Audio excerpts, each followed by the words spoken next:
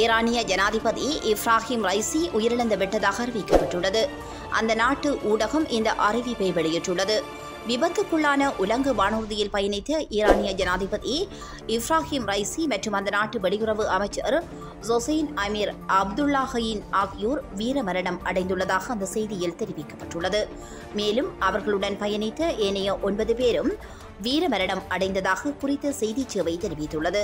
எனினும் ஈரானிய அரச ஊடகமான ஐஆர்ஏஎன் இன்னும் மரணச் செய்தியை அறிவிக்கவில்லை. டெலிகாப்டர் விபத்தில் ஈரான் அதிபர் இப்ராஹிம் ஐசி உயிரிழந்த சம்பவம் பெரும் அதிர்ச்சியை ஏற்படுத்தியுள்ளது.